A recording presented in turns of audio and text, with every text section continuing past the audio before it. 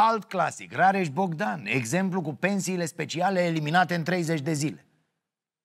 Sau tot Rareș Bogdan împreună cu Mihai Tudose. Țara asta nu e a lui Ciolacu. Dacă vor să continuăm guvernarea, ne respectă. Dacă nu vor să continuăm guvernarea, pleacă de la guvernare, rămânem noi. Am mai văzut viteji în, în uh, PSD care au dat cu nasul în țărână.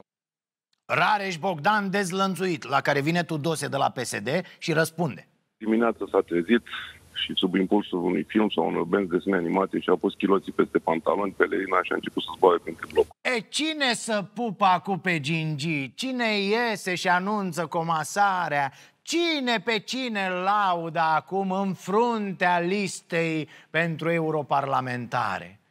Și că de ce tinerii nu mai vor să voteze cu voi, nu mai au încredere în voi? Spuneți-ne, așa, încă o întrebare, vă rog, um, așa, mersi.